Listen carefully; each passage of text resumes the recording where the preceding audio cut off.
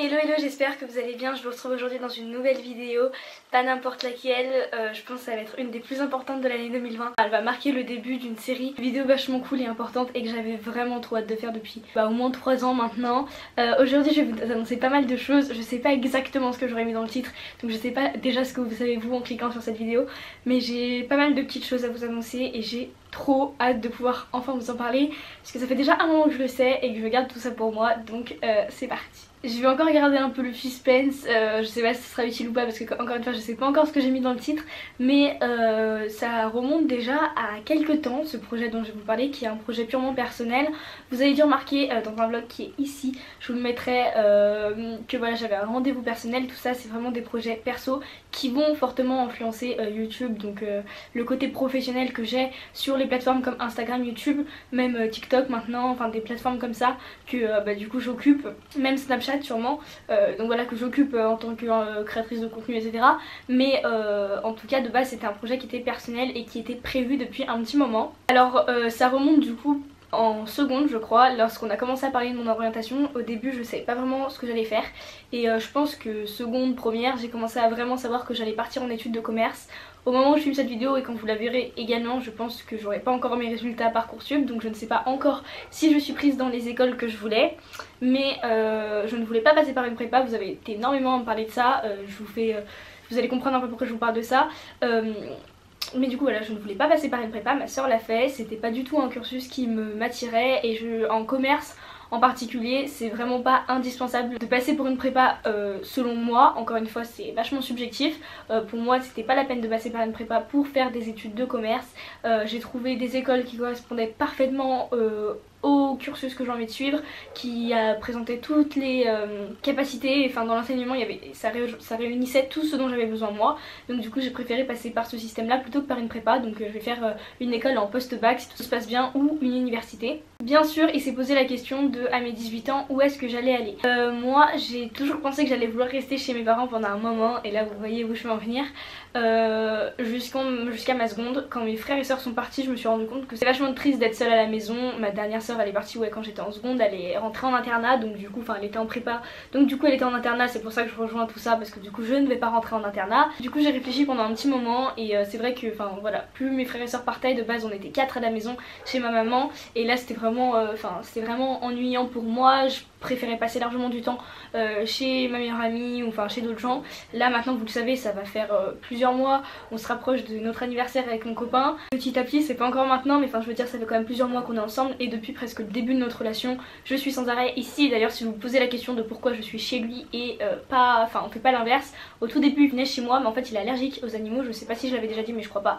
Et c'est pour ça que du coup bah, on pouvait pas, enfin on pouvait pas être confiné euh, et on pouvait pas vivre euh, le week-end etc chez moi. C'est pour ça que c'est moi qui viens chez lui, on arrive à se débrouiller etc pour, les, pour aller en cours et voilà etc. Chacun faire sa vie de son côté tout en vivant ensemble, enfin on vit pas ensemble non plus mais j'ai quand même beaucoup d'affaires chez lui. Je passe beaucoup de journées chez, lui durant les week-ends et le soir en semaine il vient me chercher parce qu'il a une voiture vous avez dû le remarquer dans mes stories et mes vlogs et, euh, il me ramène ici et on dort chez lui et euh, le lendemain matin on part chacun faire notre vie et on se retrouve le soir parce que ça aussi c'est une question qui m'a été posée non euh, il est pas dans ma classe donc il est pas dans mon école non plus donc voilà et du coup tout ce petit cheminement s'est fait et euh, dirais milieu de première.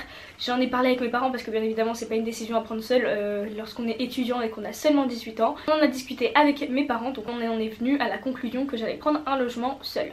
Je préfère les études que je fais font que c'est pas comme médecine, enfin il y en a qui vivent seul en médecine mais bon en médecine c'est vrai que c'est vachement compliqué, on a quand même besoin d'aide et euh, d'être euh, comment dire ouais euh, aidé et allégé sur tout ce qui est cuisine, lessive, des trucs comme ça et moi le cursus que je vais faire fait que je peux me permettre de me faire à manger, j'aurai le temps de faire mes lessives, de, faire le ménage, d'entretenir une maison etc, enfin une maison, un appartement, on va se calmer mais voilà je pense que vous comprenez ce que je veux dire. Donc du coup voilà mes parents sont particulièrement adorables, ça m'a fait vraiment plaisir qu'ils acceptent ça parce que moi j'en ressentais de plus en plus le besoin.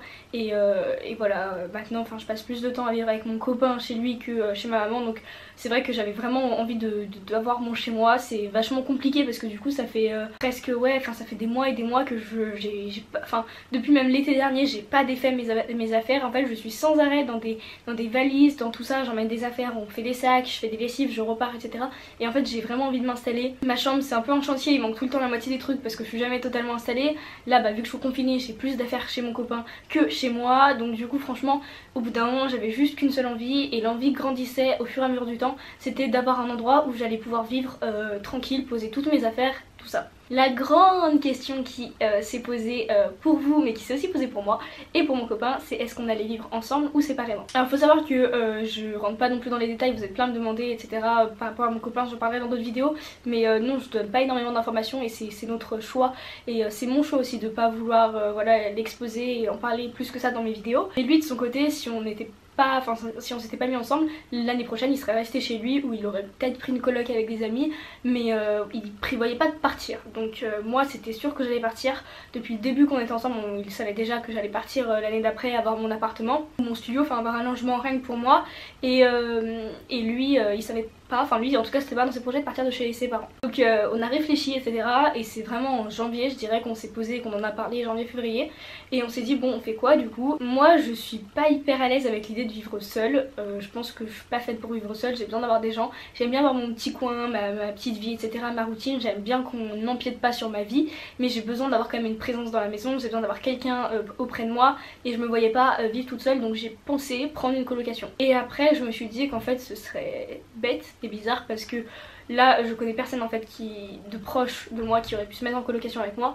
Et, euh, c'est comment dire on s'est posé la question en disant c'est un peu risqué de se mettre en couple euh, de vivre ensemble euh, quand on est en couple. En plus nous c'est quand même enfin c'est récent, pas récent, tout est relatif, mais on trouvait ça quand même assez, assez tôt. Là, ça fera seulement quelques mois, enfin un an à peu près, quand on emménagera ensemble, normalement, enfin voilà, dans, les, dans les dans la logique ça aurait dû être comme ça. Donc au final je trouvais ça plus risqué de prendre une coloc avec quelqu'un que je connaissais pas, que j'aurais trouvé sur internet euh, ou sur euh, des sites euh, genre le bon coin, des trucs comme ça, se loger pour trouver une colocation plutôt que vivre avec mon copain. Et en plus de ça on s'est dit au début bon je prends un truc toute seule mais en fait on s'est dit c'est bête parce que si je prends un truc toute seule on va prendre un truc pour mes besoins c'est à dire quelque chose de pas forcément très grand enfin quelque chose pour une personne et, et là on voit très bien que je passe tout mon temps chez lui. Donc là c'est le jour où j'aurai un appartement. On savait très bien que ça allait être l'inverse que ça allait être lui qui allait, ressentir le besoin d'être sans arrêt chez moi. C'est vrai qu'à notre âge si on, a la possibilité en tout cas c'est dans notre caractère d'avoir un nid un foyer pour nous deux euh, un endroit où on peut être ensemble on préfère ça plutôt qu'être chez nos parents. Je pense que ça devient le cas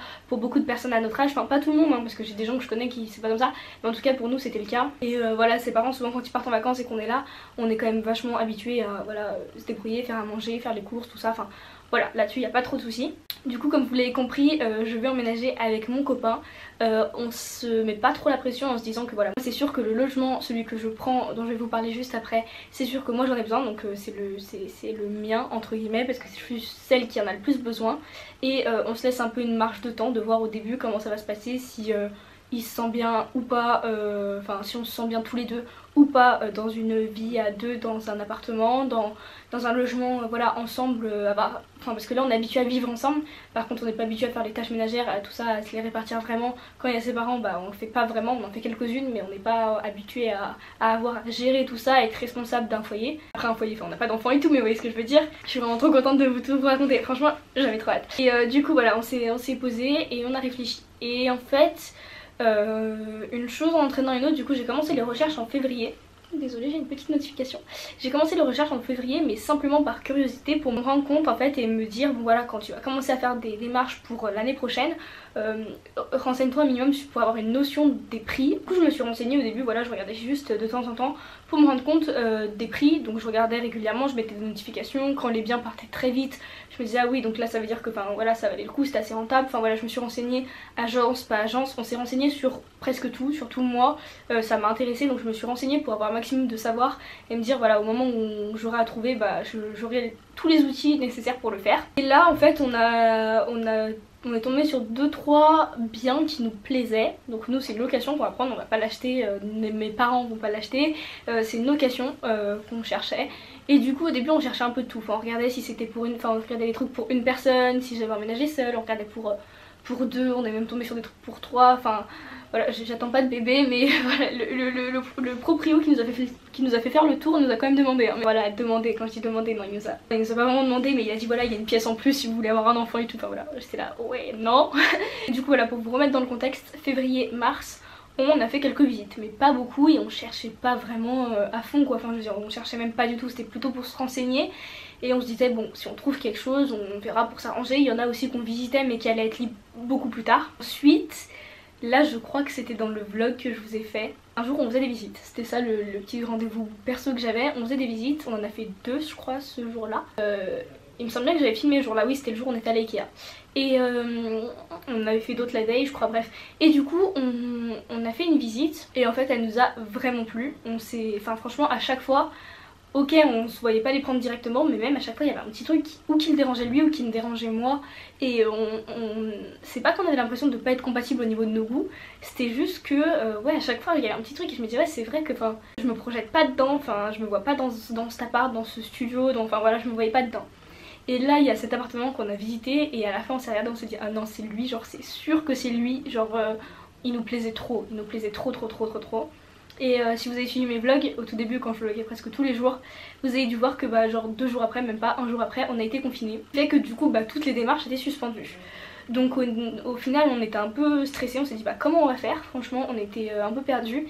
Au final les proprios euh, et nous-mêmes bah, on s'est arrangé, on a trouvé un moyen donc on s'est arrangé et euh, l'appartement qu'on a visité nous revient bel et bien à nous.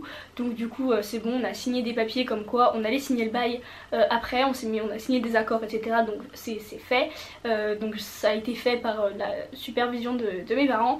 On a fait tout ça, on s'est... Ils nous ont proposé de retourner le voir mais enfin c'était le début du confinement, on voulait pas prendre de, risques, enfin on voulait respecter les règles, on voulait pas sortir donc du coup on n'est pas sorti. Et euh, du coup là s'en est suivi bah là les 4 semaines, 4-5 semaines où on était à la maison et on s'est énormément renseigné pour tout à côté.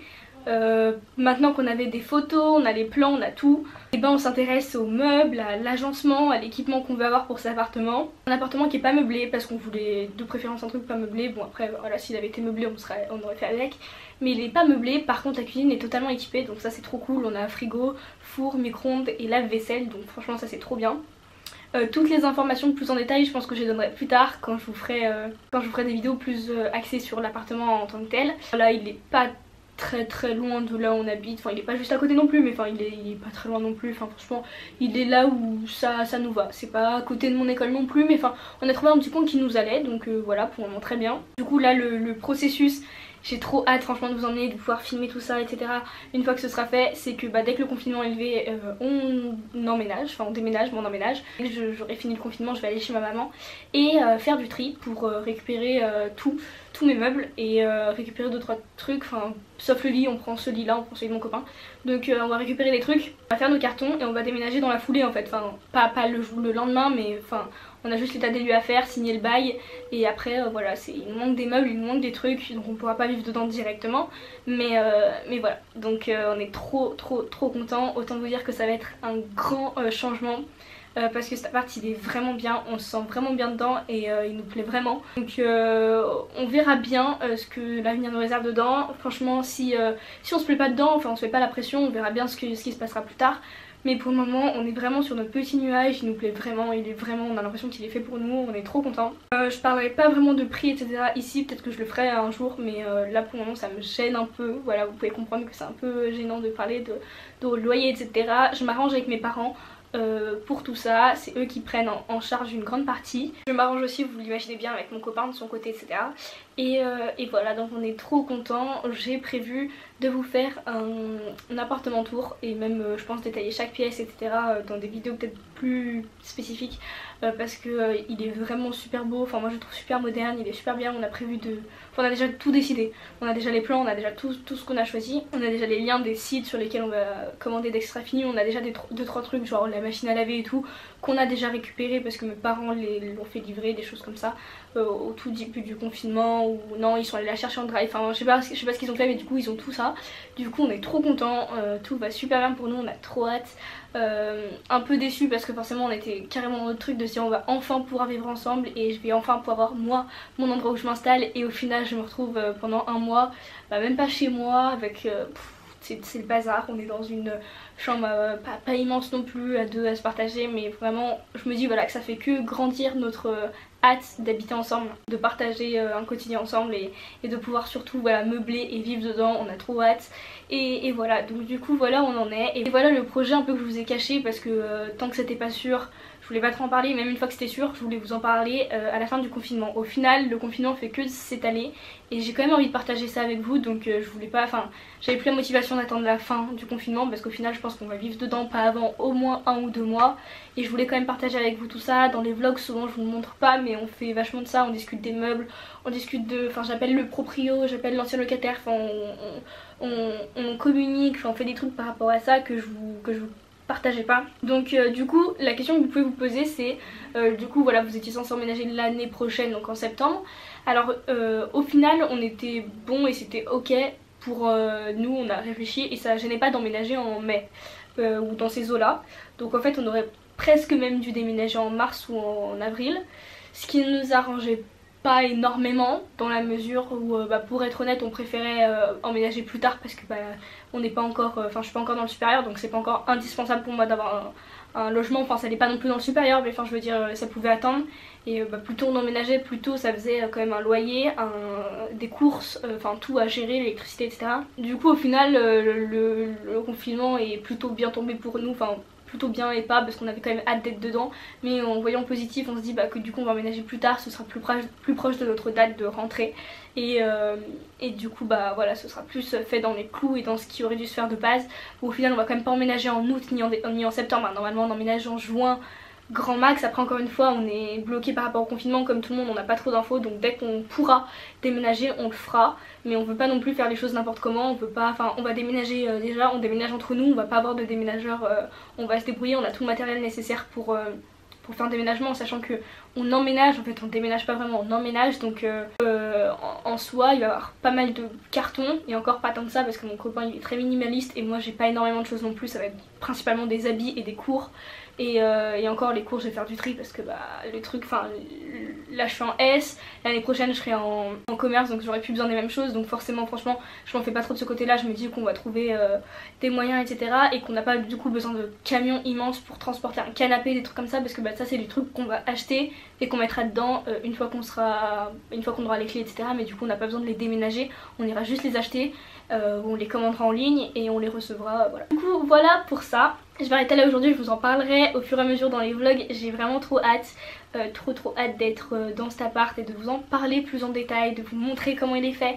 Là j'ai qu'une envie c'est de vous montrer les plans etc mais enfin je me dis voilà faut que je garde ça quand même et que j'attende de vous faire une vidéo. Alors je vous ferai un appartement tour comme je vous avais dit mais je vais pas attendre l'appartement tour pour tout vous montrer parce que franchement j'arriverai pas à tenir. Je vous montrerai les au fur et à mesure des vlogs bah, quand on déménagera quand on emménagera déménagera je sais pas vous, avez compris quand on sera dans les procédures de carton etc je vous montrerai. Je montrerai tout ça au fur et à mesure pour que vous soyez informés et que vous puissiez suivre euh, cette euh, aventure en sachant que moi aussi j'ai trop envie de garder des souvenirs de ça donc c'est pour ça que je les filme. Et euh, voilà ça va quand même être mon premier appartement je trouve que c'est un truc hyper important. C'est quelque chose qu'on garde en mémoire hyper longtemps donc voilà je voulais voilà quand même garder tout ça euh, en image. Et voilà du coup euh, je vous filmerai tout ça donc vous aurez euh, les trucs au fur et à mesure et à la fin je vous ferai un, tableau final en voyant l'appartement tour puis après je vais reprendre c'est pour ça que je vous disais qu'une fois que je serai installée là dedans ça va être beaucoup plus simple pour moi de filmer tout ce que je veux. J'aurais pu enfin j'aurais carrément un coin pour pouvoir filmer enfin pas, pas, pas une pièce YouTube, on n'a pas non plus emménagé dans un, dans un 200 mètres carrés, hein, on va pas abuser. Mais, mais je veux dire, enfin, j'aurai quand même plus. Euh, ce sera mon appartement avec celui de mon copain, donc on pourra plus facilement s'arranger pour que je puisse filmer quand je veux, où je veux, dans des spots euh, plus jolis qui correspondront à ce que moi j'aime. Je pourrais vous montrer tout ce que j'aime. Je pourrais cuisiner, je pourrais faire plus de live, plus de vidéos. Enfin, franchement, j'ai trop hâte. Euh, franchement, trop trop hâte de partager tout ça avec vous. En tout cas voilà cette vidéo était vachement longue, je suis désolée, j'espère qu'elle vous aura plu, j'espère que ce projet vous plaît. voilà je voulais pas trop vous en... Je voulais pas trop comment dire vous vous faire baver en mode oh j'ai un projet de fou, un projet de fou, un projet de fou. Je vous disais que j'avais un projet, j'étais trop contente mais j'ai bien insisté sur le fait que ce soit perso pour pas que vous attendiez un truc euh, genre YouTube alors que bah, c'est indirectement lié à YouTube mais directement c'est surtout un truc euh, bah, perso qui, est, euh, qui me concerne directement. Donc voilà j'espère quand même que ça vous fait plaisir et que vous allez être content de suivre avec moi toutes ces péripéties.